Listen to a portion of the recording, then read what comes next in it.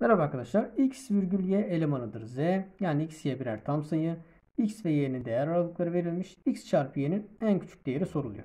Şimdi arkadaşlar X için maksimum ve minimum değerlere bakalım. Eksi 5'ten küçükse eksi 4'tür.